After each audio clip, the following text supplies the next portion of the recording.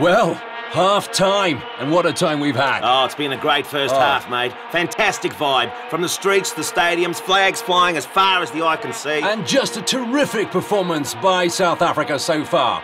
More than a million overseas visitors welcomed with open arms. South Africans, of course, known for their hospitality. Indeed. Thousands of volunteer tourist buddies helping foreigners get to the stadium. And of course, hundreds of thousands of local fans showing them a good time between the games. Oh, indeed, mate. The tournament's off to a great start. Stadiums have been packed and the atmosphere's just electric. Great attendance at the fan parks too. I mean, 1.5 million in two weeks. Yeah.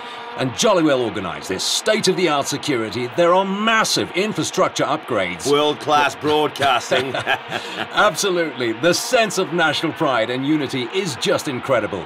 South Africans from all walks of life truly have come together to really own this World Cup. well, I'll tell you, mate, if they can keep the spirit going into the second half, there's no doubt South Africa's set to go down in the history books for hosting one of the most spectacular events the world has ever seen.